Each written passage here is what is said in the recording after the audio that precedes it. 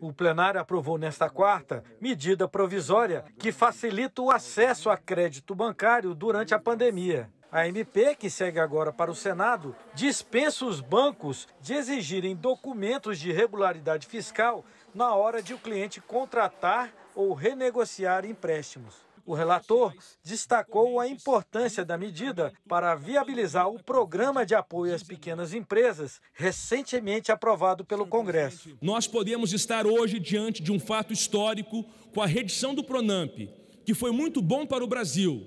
Porém, o Pronamp ele não atingiu muitas pessoas pelo excesso de burocracia.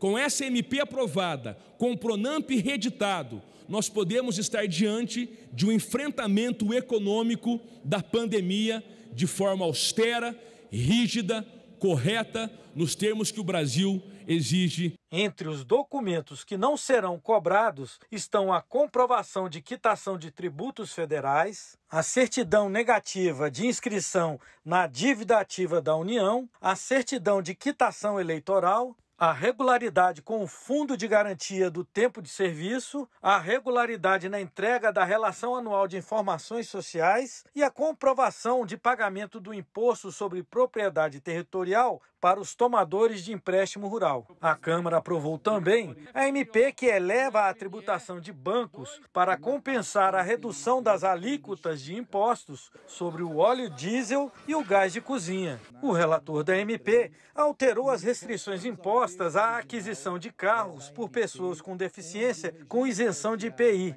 O texto original da medida provisória limita o valor de veículos para as pessoas com deficiência com direito à isenção de IPI em 70 mil reais. O substitutivo ampliou para 140 mil. A MP ampliava o prazo para poder utilizar a isenção de dois para quatro anos. O relator reduziu para três. A medida previa a extinção do regime especial da indústria química a partir de 1 de julho deste ano. O relator acenou com a possibilidade de uma redução gradual em oito anos do benefício fiscal para a indústria petroquímica, mas recuou. Voltamos ao texto original é, da MP, onde o regime especial da indústria química, é, ele que hoje, com o regime especial, o PIS e o PASEP, PIS PASEP, hoje a indústria química paga 1% e pela medida provisória ele volta a pagar 1,65% e COFINS, que hoje se paga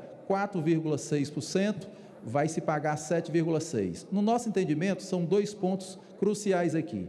O primeiro ponto é que para poder fechar a conta, e aqui a lei de responsabilidade fiscal, para que eu pudesse fechar a conta e preservar é, o PCD com um limite de o teto né, de 140 mil reais e para poder fechar as contas eu teria que recuar nesse ponto. E o segundo ponto é que na discussão que nós fizemos junto à emenda de plenário é que o regime especial da indústria química ele já vigora desde 2005. Estamos sentindo traídos, né?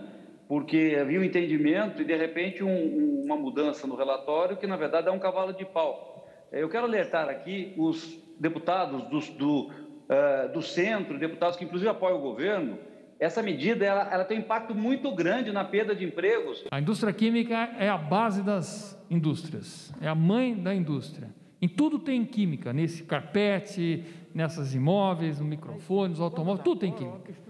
E aí, quando a gente faz com que o regime de especial da indústria química caia de forma abrupta, nós vamos ter impactos que vão gerar inflação. Com o debate, foi feito um acordo no plenário que permitiu a adoção de uma redução gradual da REIC em quatro anos. O texto aprovado na Câmara introduziu também uma nova forma de tributação de loterias de cotas fixas e retirou a isenção de impostos de combustíveis destinados à Zona Franca de Manaus. As alterações provocaram reações. Não pode uma lei ordinária alterar um comando constitucional já interpretado pelo Supremo Tribunal Federal. Aí me disseram aqui alguns que tem empresas que estão fraudando isso. Se tem empresa que estão fraudando isso, quem tem que cuidar para combater a fraude é a Receita Federal e a Polícia Federal.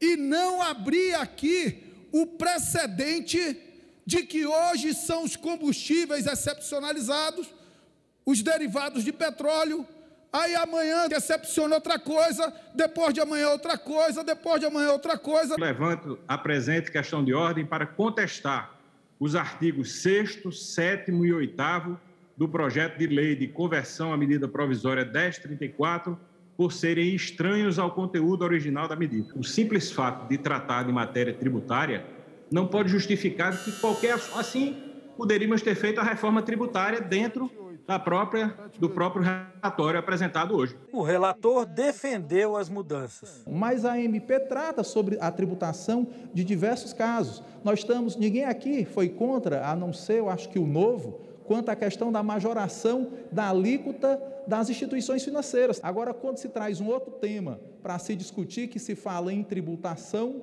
ou adequação de tributação, aí começa-se uma polêmica dizendo que dentro da matéria tem jabuti. E na realidade não. É uma matéria importante para o país, inclusive esses recursos são para poder bancar é, a questão do, dos subsídios que foram concedidos ao diesel, ao gás de cozinha de cada cidadão em suas casas e também a querosene de aviação. No final da sessão, os deputados aprovaram ainda o projeto que tipifica a violência psicológica contra as mulheres. A proposta, apresentada pela bancada feminina da Câmara e que agora segue para o Senado, cria o programa Sinal Vermelho contra a Violência Doméstica, pelo qual as mulheres em situação de risco podem pedir socorro apenas com um gesto. Com o objetivo de coibir o aumento da violência contra a mulher, no dia 10 de junho de 2020, a Associação dos Magistrados do Brasil, AMB, em parceria com o Conselho Nacional de Justiça, lançou a campanha Sinal Vermelho contra a Violência Doméstica. O sinal é esse, que deve ir na mão de uma mulher se se sentir ameaçada e precisar denunciar.